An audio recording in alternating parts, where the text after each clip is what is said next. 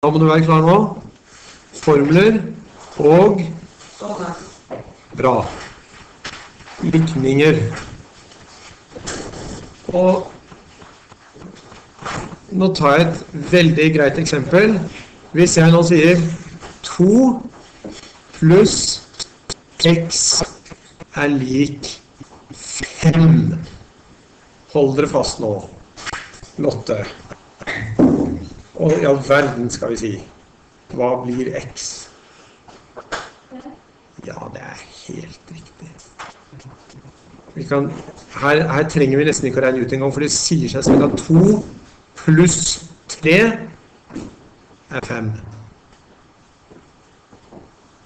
Så kan vi jo godt si 2x er lik 10. Steike. Det var straks verre. Eller For da må vi vite at det står et gangetegn når ikke det står noe. De står inntil hverandre, så står det et gangetegn der. Og dette har det og Kim eller X, må, X er nødt til å være 5. Så det kan vi Det, det, det ser vi. Seinere så må vi kanskje regne litt, og det skal vi også selvfølgelig gå gjennom. Jeg skal vise dere nå hva som er vitsen med ligninger. Hvorfor vi jobber med ligninger. For dere gjør jo det når dere også skal regne ut arealet av en firkant. Ikke sant? Arealet av en firkant, det er lengde ganger bredde. Det er alltid det. Ja. Fotballbane eller klasserom eller hva som helst. Skal finne arealet. Rom, hus, ikke sant. Skal selge leiligheten i Oslo og tjene masse millioner på det. Så må du regne ut arealet. Og, og, det, det må kunne regne arealet. Og sette det i salgsannonsen, f.eks., eller prospektet. For, men dette er jo en ligning, er det ikke det, da? Eh, vanligvis så får vi da oppgitt at L, ja, lengden er 6, og bredden er 7. Nå snakker vi meter. Og da er det greit å regne ut. Da kan vi si at arealet til en, et rom som er seks meter langt og syv meter breit. Av det er nødt til å bli 42 kvadratmeter. Omtrent som dette klasserommet, faktisk. 42 kvadratmeter. Det er en ligning, men vi tenker ikke så ofte over det. Men nå skal, skal vi sette dere litt på en prøve, da. For hvis jeg sier at ja, men jeg vet jo arealet det er nemlig 35. Og da må jeg vite én ting til, for ellers så kan, jo, kan jo, kan jo lengden og bredden være forskjellig. Men la oss si at jeg vet at lengden er 7 meter. Hva er da bredden i det rommet, hvis dette skal stemme? Ser dere nå at det plutselig ble en ligning? Ja. Jo, noen har sagt svaret allerede nemlig at bredden altså 35 meter i annen må være det samme som 7 meter ganger 5 meter. Og da stemmer det. Så derfor, Det er derfor vi skal stresse litt med disse ligningene, for vi må prøve å trene oss litt på forskjellige typer ligninger. Og etter hvert så kan de ligningene kan vi sette inn i et koordinatsystem så kan vi finne ut hvordan en sånn plante vokser. Da må vi finne, bruke en ligning. En funksjon er det samme som en ligning. Så Det er litt av målet med den planten vi har der. Ikke den, den der som ingen vet hva heter ennå, men den lille klumpen som vi håper snart skal skje et eller annet med den. Den begynner å vokse, og da skal vi måle den, og så skal vi se hvor fort den vokser, og da kan det bli en ligning ut av det. Merkelige greier. Veldig rart og mobilabonnementet deres f.eks. Der er det jo masse ligninger. Fordi at hvor mye Du vet jo ikke fra måned til måned hvor mye du snakker. Ikke sant? Hva, hvor mye blir prisen en måned når, du, når ligningen er 0,39 per minutt taletid? Så vet du jo ikke, Da er det X, ikke sant? Ukjent. Hvor mange minutter snakker du? Ja, det er jo da du kan regne ut prisen. Så da har vi en ukjent år, ikke sant? De fleste har kanskje betaler bare 200 i måneden, og så kan en ringe så mye en vil. Det er jo et kjedelig ligning. Men, eh, men noen har sånn at du, du betaler en fast pris, og så skal du gange det med x antall minutter. Og da vet du hvor mye du må betale hver måned. Så det er ligninger overalt. Og så skulle ta en annen Vi kan ta det der i celsius. Må dere skjerpe dere da og så fortell meg åssen den der omregninga var. Fahrenheit er lik Du har det? Ni femdels. Kanskje dere har celsius? Ja. Ja, celsius. Dere har motsatt? Ja, begge. Dere begge dere. Har, og begge, Mona har gått gjennom begge deler? Steike. Det var i engelsken.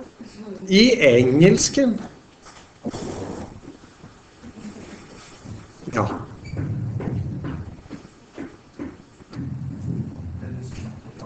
Så hvis vi bare skal ta for oss denne, så kan vi jo sette inn I dag var det fire grader, da. så kan vi jo prøve å sette inn det. Hvis jeg nå sier at det var fire grader, hvor mange Fahrenheit får jeg da? Jo, da må jeg ta ni riktig. Og så må jeg gange det med fire, og da ganger jeg fire med ni. Ja, det er riktig det. Og så legger jeg til 32. Så da får jeg altså Fahrenheit er lik Ja, altså 9 ganger 4, men eh, Og 36 Nei, altså 36, unnskyld. Delt på 5. Det blir vel 7, et eller annet. Pluss 32. Altså Er det noen som trykker? 7, det blir 7,2 vel? Pluss 32. Og det blir 39,2, ja. Hvor mange Fahrenheit var det? Ja, altså fire grader som jeg satte inn i dag. Fire grader celsius. Eh, skal vi se, så det er Fahrenheit. Fire grader celsius. Det er eh, 32, nei, 39,2 grader Fahrenheit. Så i, Norge, nei, i USA ville dette vært målt som nesten 40 grader. Og så må en regne det ut for hver gang, ikke sant. Og sånn, lenge. Hvis det 80 grader, det 80 Fahrenheit. Hva da? Hvis det er 8 grader er Nei, ja, det er det det ikke er. For det er ikke dobling her. Ikke? Ja, det er nesten dobling, men du skal legge til 32. Så en, det, er derfor, det er derfor vi har en litt avansert formel. Så det er fristende å tenke at 8, vi kan ta åtte grader, skal vi se hva det blir. Siden du nå sa det. Så setter vi inn det istedenfor. Da sier vi at Fahrenheit er lik 9 femdels ganger 8 pluss 32. Hva blir det? Jo, Fahrenheit er da 72 femdeler, og det går faktisk opp, så dette blir et helt tall. Hvor mye er 72 femdeler? Sånn var det? 12 pluss 32. Og det er faktisk 54. Nei, 44, unnskyld. 44 grader Fahrenheit. Ja. 72 delt på 5. ja. Har vi 46 Viser du det? Men 72 delt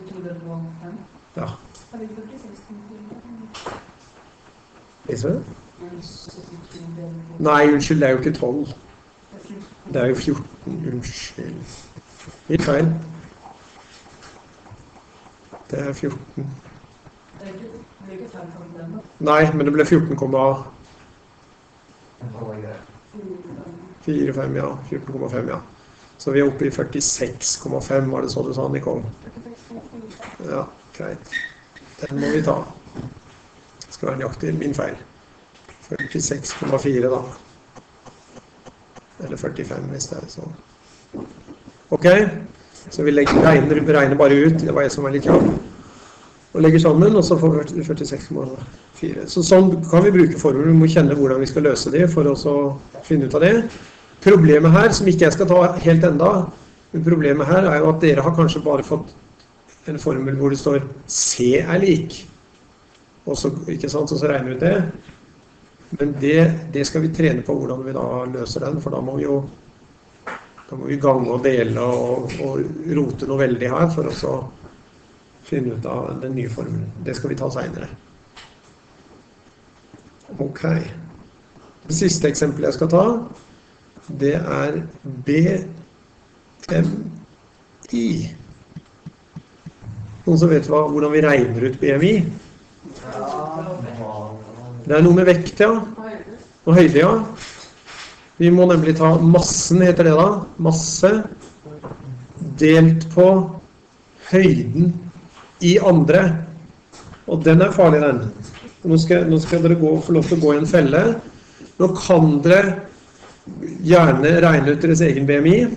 Men vi er ikke her for å lage noe sånn styr rundt BMI. Oi, jeg har sånn BMI og sånn. Ja. Så dere kan bare tenke på et tall og bruke et tall. Jeg kan bruke mine egne tall, for er ikke, det er ikke så farlig. BMI, ja, hva er BMI? Det er Body Mass Index. Kroppsindeksen, på en måte. De prøver å regne ut hvor, hvor mye kan du veie i forhold til høyden din. Det er jo det det er snakk om. Hvor mye er, er fornuftig. Og det er ganske lurt. Jeg skal vise dere en, en side etterpå som er ganske heftig. Body Mass Index.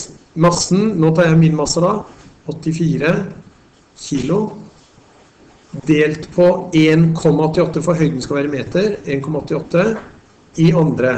Og nå vil jeg at dere skal regne ut, dere kan regne ut denne eller deres egen. Og så Hæ? Nei, 1,88 i andre, det er 1,88 ganger 1,88.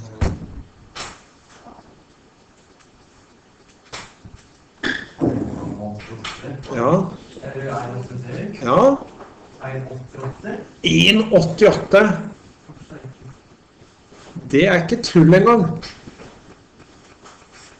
Oi, oi. 23, 23,76. Hva er det det tallet skal si der, liksom? Ja, altså det sier ikke noe annet enn kilo, kilo delt på eh, meter, faktisk, i andre.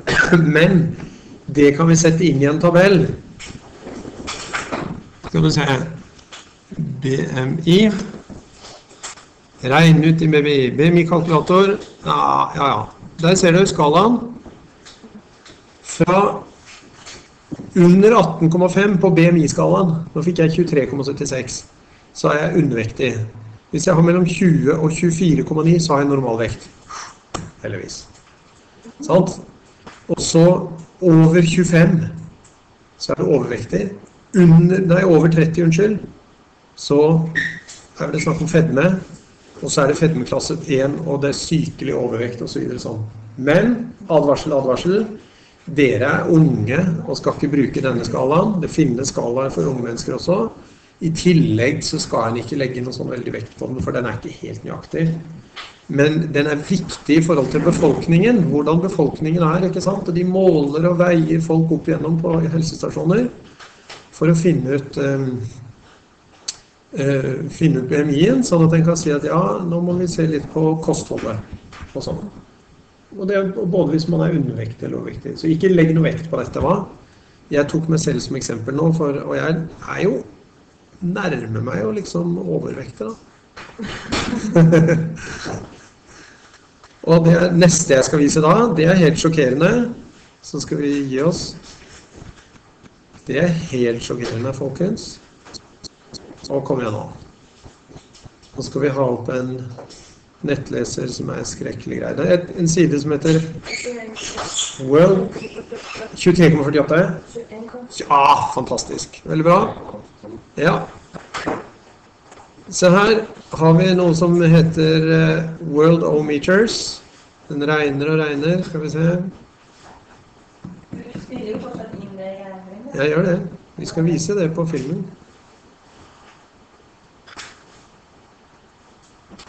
Og kom igjen. Pause. Der er vi i gang. Og da ser dere samfunn og media, miljø, ernæring. Her. Hvem kan si det tallet? Riktig. Underernærte mennesker i verden. Som altså har en BMI som er under normal vekt. Den går heldigvis nedover. Se på den, da. En, dette er verdentall i verden. Ja, jeg skal forklare. 1,58 milliarder sykelig overvektige mennesker i verden. Og dette Det bare går er helt vilt. Sykelig overvektig, så dere det? Dette må de bruke BMI til å finne ut. Og det er jo helt tragisk at vi lever i en verden hvor vi har så mange underernærte mennesker i verden, og så mange overernærte, og så klarer vi liksom ikke å dele på maten. Så det er noen som sulter noe vanvittig, og allikevel har vi så I rike deler av verden så har vi så vanvittig mye mat at vi spiser oss til sykdommer. Ja. Så da, men da gir vi oss. Skal vi se, nå skal jeg stoppe den. Og så